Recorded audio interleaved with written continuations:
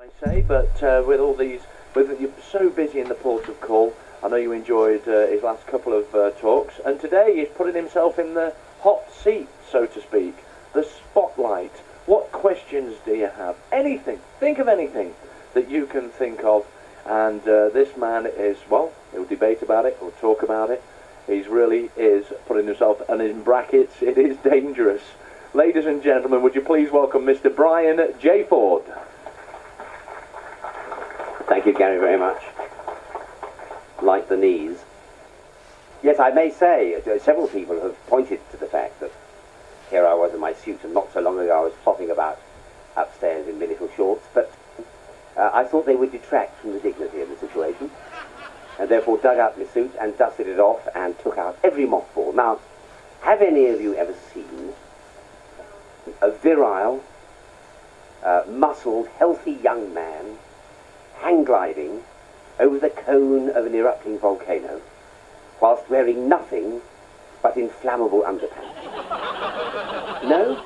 Well, this afternoon is as close as you're going to get because this is the most dangerous thing I ever do. And several people have come up and said, tell me what I'd like to hear you speak about. It's... And I say, no, no, no, no, no, don't mention.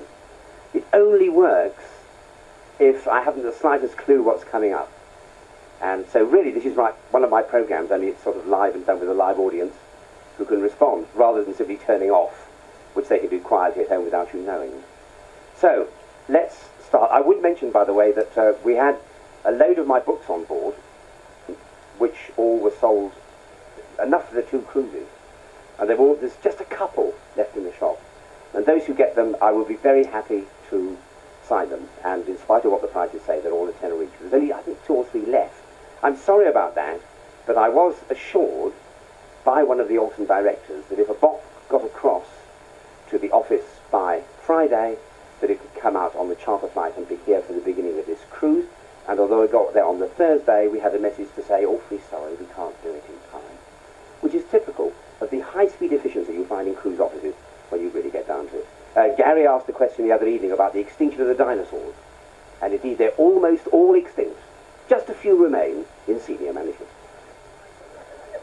So, so where do we go to start? Who, who'd like to propose a topic or ask a question? Uh, yes, madam.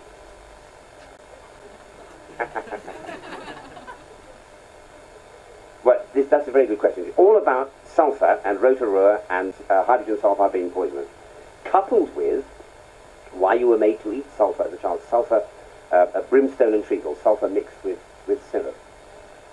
Firstly, sulfur itself isn't dangerous. Sulfur is a yellow powder, an element. And if you mix sulfur with treacle, which simply makes it tasty, then you can indeed take sulfur. And sulfur has had a number of effects against microbes. It used to be an ancient treatment. So sulfur itself is fine. But of course, that sulfur is an element, and once it's combined into a, into a, a compound, then it's totally different. After all, sodium chloride, the salt that we sprinkle on our chips, is made from a highly explosive metal coupled with a deadly poisonous gas. And on their own, they're very dangerous, but combined together they form salts, which is a completely different substance. And hydrogen sulfide is active, very active, against the lining of the lungs. And as an industrial gas, the levels of hydrogen sulfide are, I think, just about as low as those for, for cyanide in a factory exposure environment. So yes, if you go to visit places like Rotorua or Solfatara, Yellowstone, wherever else where there are sulphurous vapours, then no, of course it doesn't do you any harm because you're only there for a short while. But living in that environment is not a good idea, and indeed living in that environment often kills off plants in the district as well. So if you go, then go with good heart, but don't move into a little wooden chalet just downwind of the main sulphur spring, believing that all that egg-smelling sulphurous gas is going to do you good. It won't. It'll do you harm. But sulphur itself, pure yellow sulphur, has long been used as a medicine, and your dad would have done you no harm at all by doing it, I promise. ah, he didn't take any, she says. Well, that's true, but, but I mean, people in authority are there to enforce rules, not necessarily to follow them. Let's have another hand. Please. I've um, I've seen some of those uh, interesting uh, photographs. Say, Look, there's two shadows. All the reflections wrong. Well, you do get all sorts of dodgy things happening in photographs, and none of the examples that I've seen have convinced me that they didn't go to the moon. I mean, they, they did. They got in a rocket. I, I was once a guest of NASA and saw a, uh, a shuttle blast off when Sally Ride went up into space. And it was it, the most exciting sort of space, well, apart from flying on Concorde, the most exciting thing I've ever done because you sit in this VIP stand looking out over the Apollo launch pad and suddenly it, it bursts. It's like a dazzling magnesium flame. This is a sunlit day, ladies and gentlemen. The sun is blazing in the sky and this seems brighter. This is the most phenomenally dazzling sight you see. And then a second or two later, the sound hits you and you don't hear it as a sound. There's a crackle and your chest rattles and everybody coughs because the phlegm gets knocked about in their lungs. And up goes this colossal thing with everything juddering around you, all the stand and the chairs that you're sitting on, everything is, is juddering. Uh, and up it goes. And uh, yes, of, of course they did. And they would never have pretended they didn't because they knew that the Russians were hard on their tail and the Chinese were wanting to be hard on their tail and might well turn up shortly. They had no means of knowing whether they would. And had they based the whole of their international reputation on the moon landings, and the others had got there and found it was a fake, then nobody would have believed in America ever again. So it's a, one of those nice conspiracy theories, but no, I don't think it's true, and yes, I do think they landed. Please. Yes.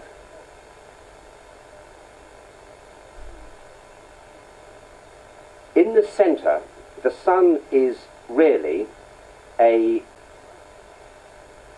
a sort of hydrogen bomb, and in the outside it's really an atom bomb. In the hydrogen bomb, you've got molecules that fuse together and create tremendous energy. In the atom bomb, you've got molecules that split apart and create enormous energy. And what you've got uh, in the sun, I may said it the wrong way around, is an atom bomb in the core surrounded by a layer of hydrogen bomb. So the splitting atoms in the middle form light atoms that then fuse at the surface. The surface of the sun, by the way, is not that hot. Uh, two, or two or three thousand degrees Celsius. It isn't really very hot. We've got lots of hotter temperatures on Earth. The temperature of the spark from a sparkler is hotter than the temperature of the surface of the sun. But the sun is really like a self, self-fueling system of nuclear bombs. And it's important to remember they are nuclear bombs, because when you lie in the sun and you've not been exposed to the sun, you, your skin isn't used to it, and you burn and you get sometimes red on your chest, and you may end up with blisters. What you've got is radiation burns.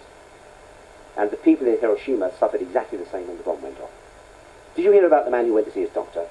And he said, he said, it's a very silly thing. He said, but I fell asleep while sunbathing, and the whole of my body is red raw. Can you give me anything for it? And the doctor said, only Viagra. Viagra, said the man. Indeed, he said, it'll keep the sheets off you when you sleep. what a saucy laugh. Goodness me. Right, let's have a look. Yes, sir. No, he didn't. He asked whether I thought they had. Well, the time travel, no, I don't think so, because it's intuitive that time goes forward, and I'm just too simple-minded to understand it any other way. And I've had some very, as Harold, Harold Wilson used to call them, full frank discussions with the astronomer Royal about that. He believes in parallel universes and all this old nonsense, and I think, well, you've written some jolly good books, Arnold, and they're awfully well written, but it's a load of codswallop if you ask me. Yeah. However, having said that, the other question about, you know, beam me up Scotty is what you're really wondering about, isn't it? And the reason it's unlikely to work is because of Einstein's theory of E equals mc squared. E, energy, equals mass multiplied by the square of the speed of light. In other words, um, a, an amount of mass is equal to a vast amount of energy. Now, it would simply take far too much energy ever to convert mass into energy and then transport it. You know, far more than all the world's electricity generation put together to transport, as it were, a, a cube of sugar over the space of five weeks. I mean, it, it, it's of that order. So, with our present understanding, no, I don't think so. So, the answer to your question is twofold. The first is no, I don't think time travel will ever take place, and I've always thought it's complete drivel. Indeed, the proof, the scientific proof, I would offer all of you is that man from the future is not going to walk in there and say, ha ha, you were wrong. If he does, then I'll believe it. But nobody has ever come back from the future. And so for uh, that reason, no, I don't think so. And so far as will people ever make matter transfer instantaneously, well, within the present state of physics, no, we can't. But then, when we were little, radios had valves. Now you can have an entire full-colour 625-line television recording system in the back of your camcorder smaller than a box of Swan Vestas matches. So if we've seen such amazing things in our own lifetime, I won't predict about the future. So no, I don't think time travel will ever happen, but who knows, one day they might do the matter transfer. Be a lot easier, wouldn't it, than sitting in a plane? Just imagine you turn up at Barbados, stand in a capsule, press the button, bingo, hello, Gran. Let's see, another one. Yeah. Um, the question of matter being indestructible is rather like energy all coming from the sun.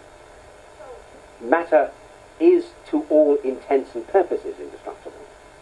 But when you fire an atomic weapon, you do destroy matter and produce energy. And the prodigious energy, of course, is the crater that uh, forms the crater that, that, that is there. It's like, you know, all energy comes from the sun. Yes, all energy does come from the sun in terms of thermal energy and solar energy and wind energy and so forth. But also energy comes from the heat beneath our feet. And people do sometimes make these general overview statements, and you're quite, you're very wise to pick up on that one. Like, you know, matter is always indestructible and all energy comes from the sun, because there are teensy exceptions which always make things interesting. So yes, you can destroy matter, but only by converting it into energy, and it doesn't usually happen.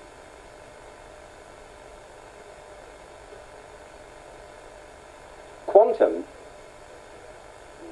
the answer to can I explain simply what quantum means is no.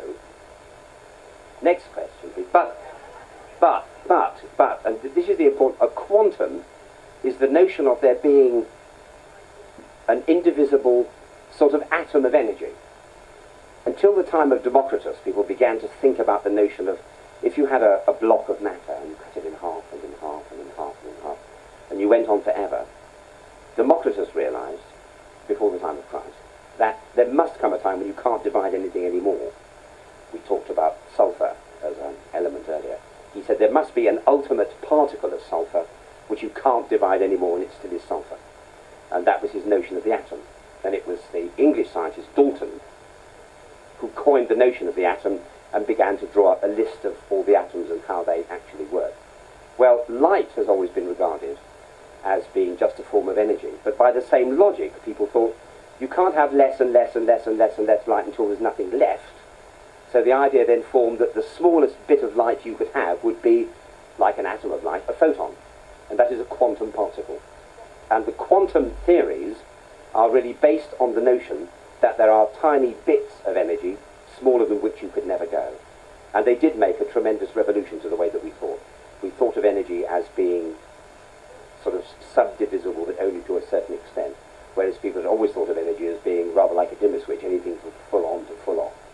But now we realise there must be a bit that you can't go smaller than and still call it energy, and that's what the quantum really is. So, oh, what a bloody good question that was. Thank you for that one. Might we ever exceed the speed of light? The speed of light is 186,000 miles per second which is dead fast, considerably faster than this noble ship. And you do get people who have wondered whether you could go faster than the speed of light. So far, there isn't any evidence of the speed of light ever being exceeded.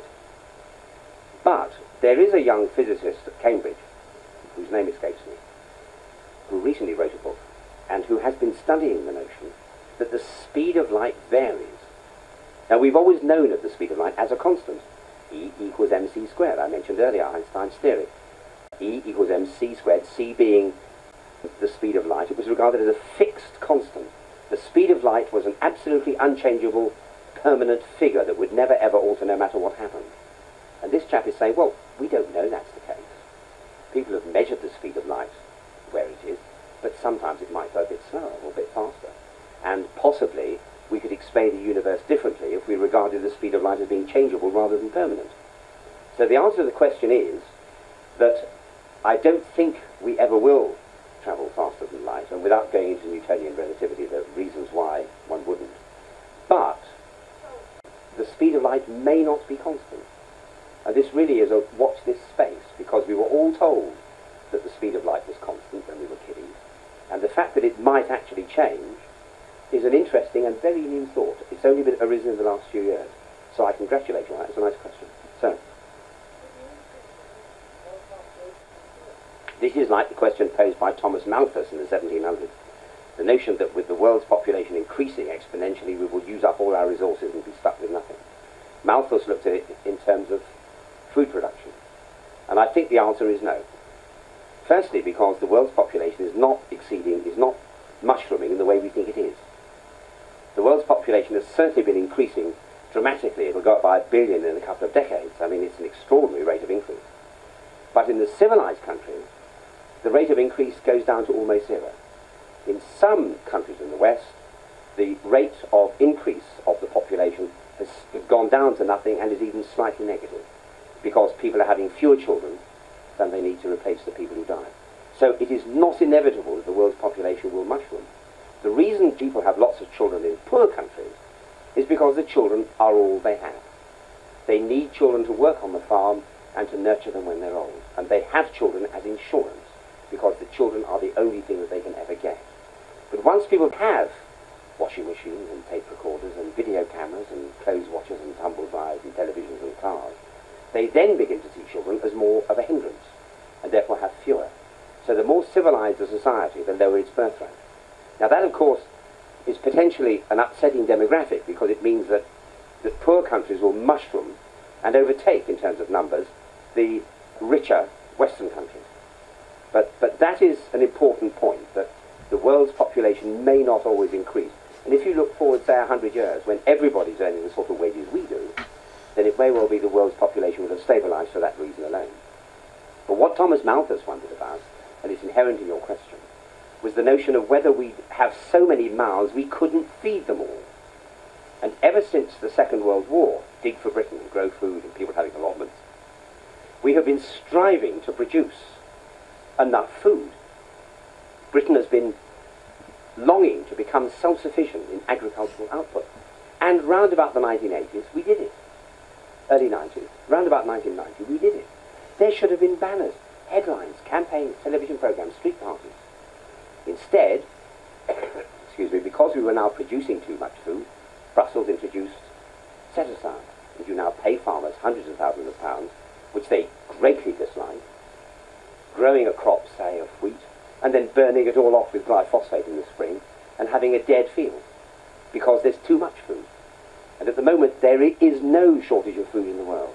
There is more than enough food produced every year for everybody in the world to eat a good, solid diet. The only thing there is a shortage of is international goodwill.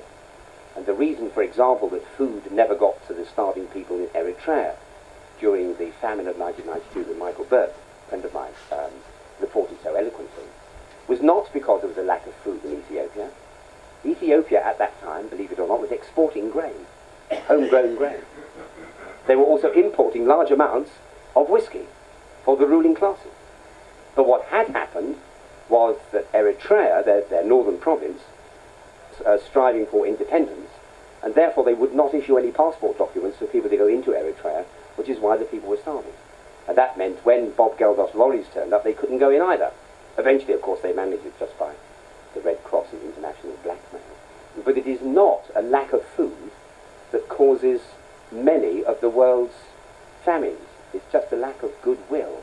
And we are now in that triumphant position of producing quite enough food to feed everybody. The Chinese, in particular, in the last 20 years, have hugely increased their rate of food production. The most extraordinary scientific success we've ever seen. And um, with GM crops and things coming, and of course everything is going to change a great deal. But the Chinese have already shown how they are now producing far, far more food per capita than they were. So the, the situation is complicated and, di- and difficult. And yes, if we're wasteful, we will run short of raw resources, and they will become very expensive. But no, I think when we start to run out of, say, silver, people will be recycling it more, what they do recycle silver now. And they will be digging into our landfill sites, possibly within the lifetime of your grandchildren. They'll be mining our landfills to get back up the cadmium and all the other rare metals that they need, which we just chucked into discarded quarries. And they will get it back. So no, I don't think it's a long-term problem. Just at the moment, we're living in an era when the poor countries are very poor, but are producing things from woven bread baskets through to computers at terribly low cost. Uh, I was in China recently and they were celebrating the fact that 90% of the Chinese population is now above the poverty line. What they don't tell you, though, is that the poverty line is an income of 50 US dollars per year. Because one dollar a week is enough for basic food and rice and housing in China. I mean, these people are very, very poor. And we, with our very cheap computers and all the things that they make in those poor countries, we're living on their backs. They're, as it were, our slaves, but they're on the other side of the world. But in a hundred years' time, they will be earning wages the same as us. And all that will be different. So the, the future of economics is going to be very, very interesting. Cheap things will be very much more expensive. There'll be real prices in the future. But I don't think that running out of food, as Thomas Malthus and others predicted, will ever happen for the reasons that I mentioned. Man, sir, oh, right at the back, yes.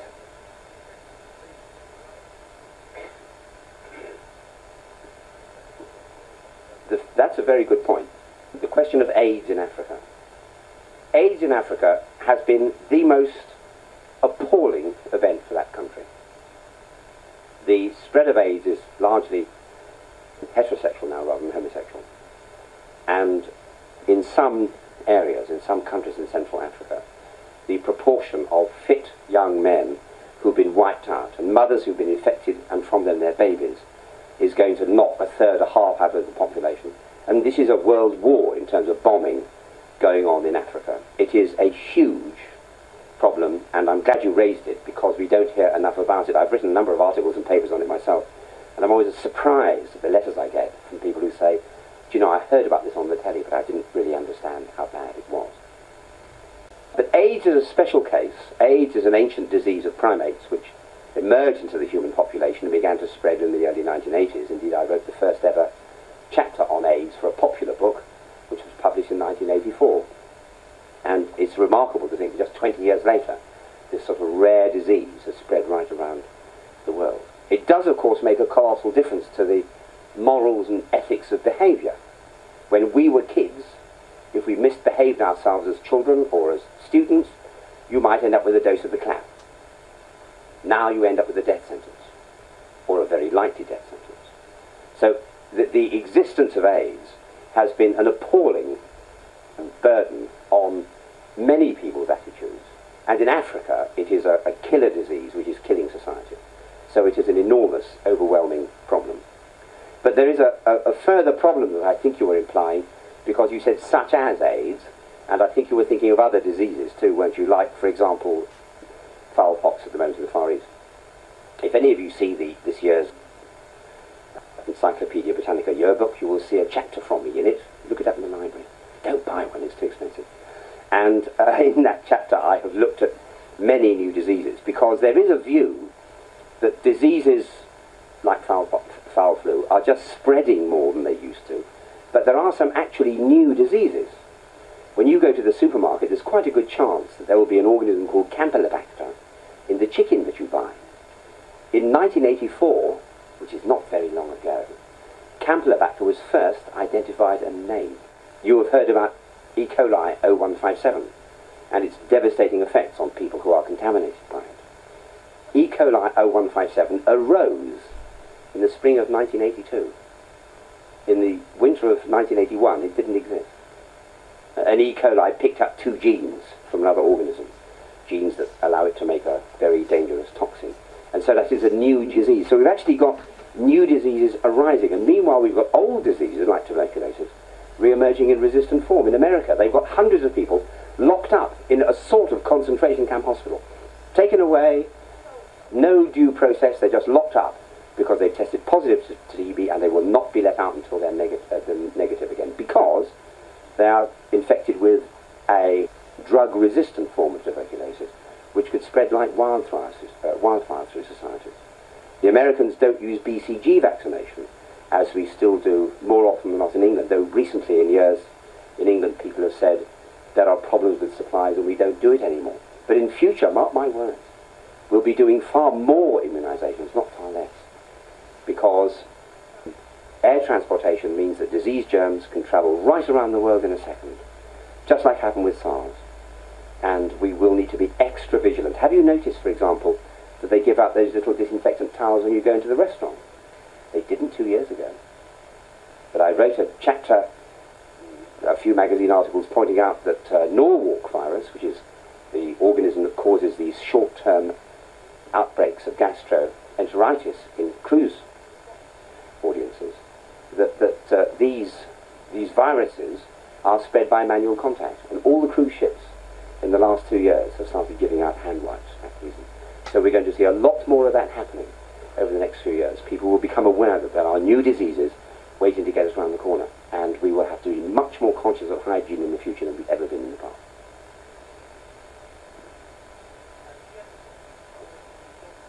No, GM crops are not harmful. GM technology is one of the most useful potential technologies we've ever had. It's just that it's been picked up by people like Monsanto, who are, well, let's think of a polite expression, um, money-grubbing idiots. That's as polite as I can get. And they thought to themselves, well, if we do this uh, GM, we can make seeds which will die out at the end of the, their growth period, so farmers can't keep the seeds, they'll have to keep buying from us, and we can tie it into a spray that will also sell them, so we'll corner the market, they'll have to come to us for our seed, they'll have to come to us for the spray, and in a few years' time we'll have the whole of the agricultural seed supply locked into our little system, and won't it be great? No, of course it wasn't. The Americans didn't sort of notice it because Monsanto slipped it out into the food supply. The Brits did, and so did Europe, because we had things like bovine spongiform encephalopathy, BSE. So we were much more aware of the problems of nasty diseases coming from our food. But that actually is a stupid, thoughtless way of using GM technology. For example, the suicide gene that they use, which you will all have heard of, that kills off the seeds and stops the peasant farmer keeping some seed for next year, that's been made internationally illegal. That's all been banned. And so you mustn't think that it's still part of current technology. The governments of the world were horrified, so that's immediately to stop. But first of all, you have to understand the extent to which all our food has been enormously modified from the original. Yeah. Wheat, oats, rye, barley, bananas, pineapples, all of these things are nothing like the original plants they came from. Wheat, oats, barley and rye are new, not just new species, they're new genera. They're totally new plants created back in the Bronze Age by very clever plant breeders at that time in order to produce something that we wanted. Look at goldfish. Look at dogs, from the tiny chihuahua up to the Irish wolfhound. Extraordinary distortions of what wild dogs and wolves were ever like. We have done the most enormous amount of genetically modifying through traditional means for thousands and thousands of years. Did you know, for example, if you look at a wild boar and compare that with a Gloucester old you know, a, a conventional pig, a they don't look at all like the same animal. And that, of course, is done by modifying them over thousands of years. And pigs actually began about eight and a half thousand years ago in what is now Yugoslavia. And by crossbreeding, they've actually managed to give the pig an extra lumbar vertebra. It's got one more vertebra in its backbone than a wild pig. We have no idea how they did it. But because it's got an extra one, you get more bacon because the pig's not. Now, modern GM technology has done nothing like that, nothing as clever as that. But those people, five and more thousand years ago, did it. So, firstly, all the stuff that we've got around us is heavily genetically modified. Secondly, Frankenstein plants. There are Frankenstein plants in every park and garden, and probably in your garden too. What did Frankenstein do? He took the head from one body and grafted it onto the body of another. Well, that's behind almost all the fruit plants and ornamental flowering trees that you have in your gardens, where they take a flowering rootstock and stick a totally different plant on the top through a little graft. And if you go and have a look at a, um, a Japanese pink flowering cherry, they'll be out in about eight weeks' time in England, and you'll see that off, very often the trunk goes up, and then suddenly it goes into a narrower trunk with all the flowering branches. And that is the graft where the head was grafted onto the body. So we've always done Frankenstein. And the use of terms like that by the Daily Mail just to frighten people is an irresponsible thing to do. Because let's look at one or two of the things that GM has begun to do. Firstly, there is the production of golden rice, which was done by introducing genes from a daffodil into rice plants. There's no way that could happen in nature. But it means this. Rice is deficient in vitamin A. No one knows why, it just doesn't make it. Polished rice, that is. So if you eat polished rice, and many poor people eat nothing but polished rice, you have a diet that is deficient in vitamin A, and as a result, babies go blind.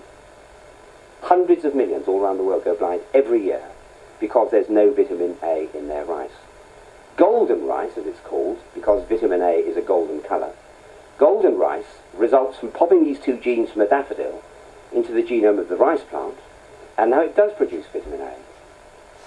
Now, the 350 million children per year who, who get blind every year and have done for a long, long while, half of them are dead by their first birthday because they cannot cope with blindness. They are so socially disadvantaged. If they eat golden rice, this pale straw-coloured rice, they never get blind. And that can save hundreds of millions of children every year from blindness. I mean, it's an absolutely wonderful example of what GM could do. So, handled sensibly, GM technology could give us enormous benefits. Handled stupidly and with an eye for a fast buck, and it does nobody any good at all. There is no evidence that genetically modified food could ever harm people, which is not to say it may be totally without risks. But then there are no risk-free technologies. Ships catch fire, ships sink, motor cars crash, motorists get killed, people fall through windows and die because of the lacerations. They cut themselves with kitchen knives, they fall downstairs.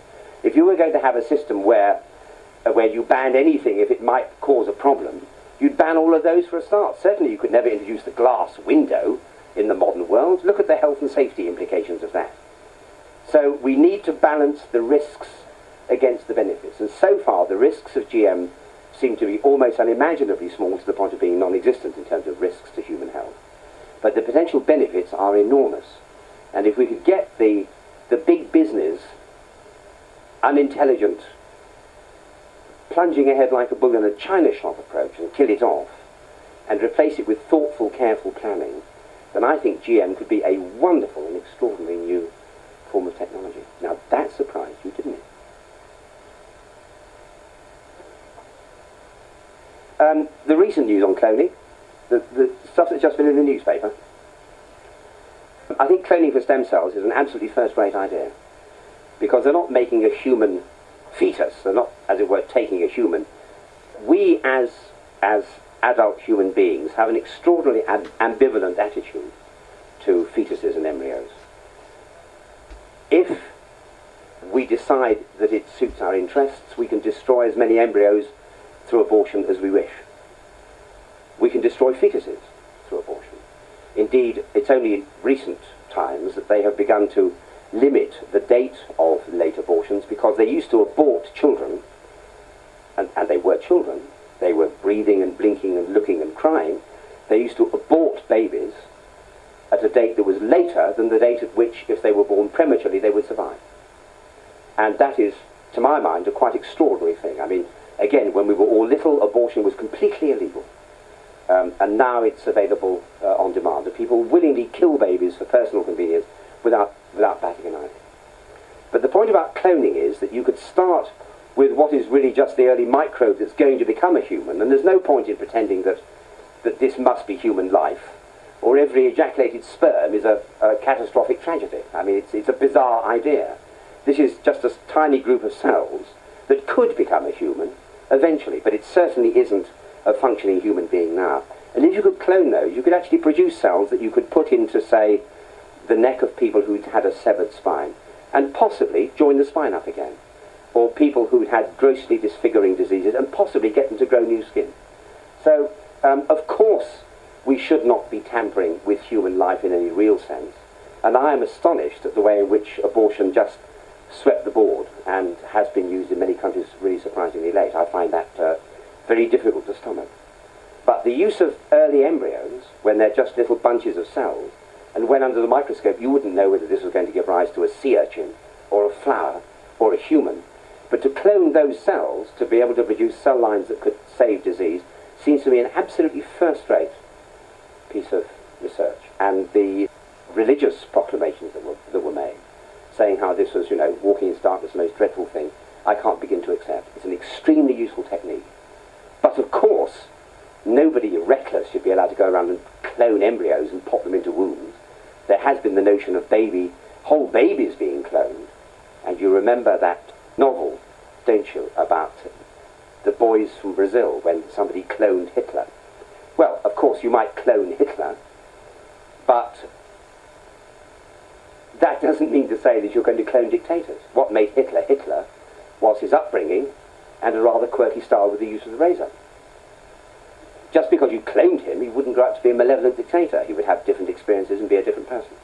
Yeah. So cloning humans is very problematical. As Dolly the sheep showed, she had many clinical problems when she was born, and she was only, only successfully conceived after, I think, over 360 trials.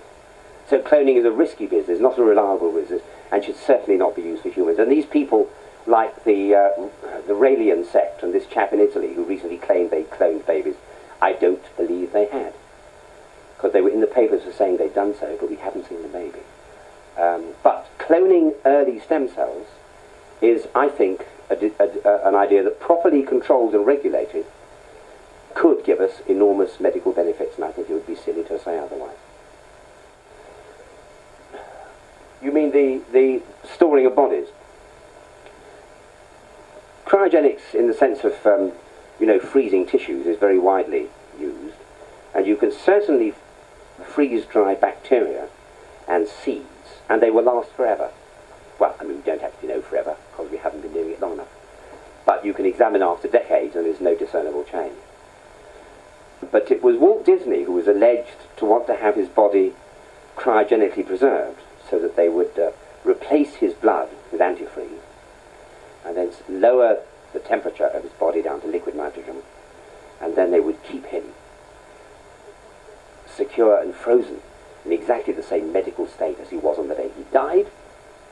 Then you could re-inject some blood and warm him up because now they have discovered a cure for what he was dying of.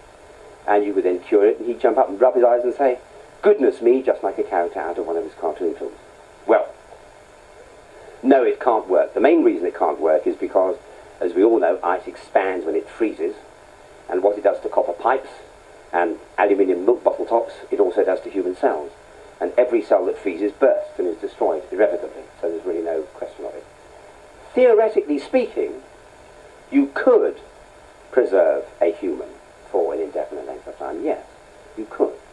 So one of these days, something like it might happen. But at the moment, it's nothing but pie in the sky. And so, no, it, uh, it isn't going to happen on the basis of, of, of, present technologies. Although some people, if you go to the company in America that does this cryogenic preservation, they're rather good. They offer you two options. You can have the whole body preserved, or just the head. And the idea is that if the head is preserved, which is much cheaper, something like, I don't know, uh, half a million dollars instead of five million dollars, if you keep the head, then the idea would be that, very serious, the idea would be that when they cured your disease, or found an answer to what you died of, they would revive your head, take a newly dead body, graft the one on the other, shake you by the hand and ask for the check. So we've timed, now we mustn't clash with bingo. I am well aware of the cultural significance of bingo and particularly its importance to people who've got almost to Calling House last time and a longing to get their pounds back from Fred Alton, a, a, a feeling with which I have every sympathy. So we'll have just one more, if we may, sir.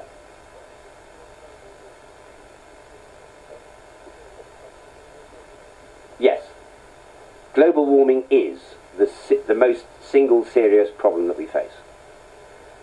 We've all seen the, the weather change in our lifetimes. That's never happened in the history of the world. Things take tens of thousands of years to happen. We've seen it happening in a couple of decades. Carbon dioxide is a very rare gas in the atmosphere.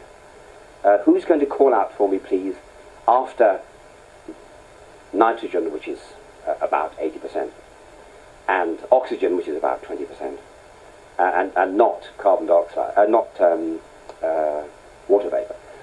Call out the third commonest gas in the atmosphere? It makes up 1% of the air. The gas hardly anybody ever hears of. No?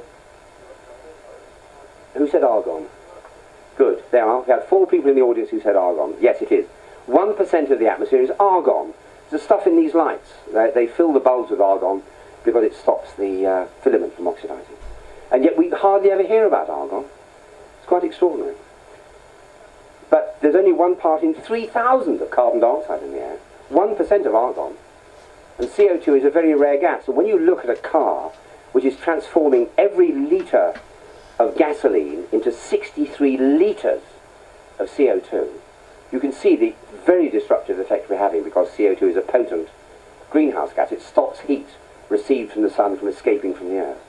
And yes, uh, it is causing problems. The nation of Tuvalu is currently being evacuated because it's a low-lying coral country and uh, in the Pacific, and the, the seas are invading. Incidentally, the seas are not going up. This is a really interesting fact, uh, which hardly anybody seems to realize. The seas are not rising because of melting ice, which almost everybody seems to think they are. The seas are melting because they're getting warmer and expanding, like the alcohol or mercury in a thermometer. The seas are actually getting bigger as they heat up. That's the mechanism for the rising of the sea. Um, but global warming is already causing mosquitoes, like Aedes aegypti, which is now spreading in uh, America. And a lot of diseases are now being spread by insect vectors that are now spreading themselves and therefore carrying diseases over to wider areas of places. There are areas where traditional farming is no longer possible because the rainfall level has gone below a critical limit or the ambient temperature has gone above a critical threshold. And whole nations at the moment are having their way of life and their traditions decimated. Uh, it is a colossal problem. And the only reason that there's no firm action over it is because of the fact that governments are locked into their you know, oil revenue friends who don't want them to discourage the use of oil. But I will leave, we'll close on this, uh, I will leave one little thought for you, and that is that when President Clinton ended his reign, he said they would sign the Kyoto Protocol to limit the amount of CO2 produced by the great nations of the world. When President Bush came in, he reneged on the deal and said they would not cut back the amount of CO2 they produced because it would interfere with the American economy. However, the effect of the Bush administration has been so bad on the American economy that the amount of CO2 they have produced has gone down by nearly 2% anyway through, through financial mismanagement. So in actual fact, they have been fitting the Kyoto Protocol limits, but accidentally, which I know you'll think is a very pleasant thought. Now, I want to thank you, and I also want to mention the RNLI tickets. They will be available for you to buy as you pass through from here towards bingo. Um, so the, the tickets are still available for those who couldn't get them earlier. And what I want to say is that this is my last event.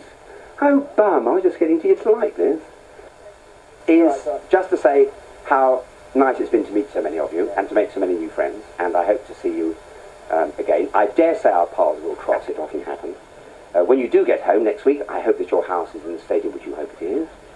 I hope the house plants haven't either dried out or rotted away, and that the dog doesn't ignore you too long when you reclaim it and bring it back home. Um, it's been lovely knowing you all, and I hope very much that you have enjoyed these talks, just a tiny little fraction as much as I have really enjoyed giving them. Thank you and bless you all.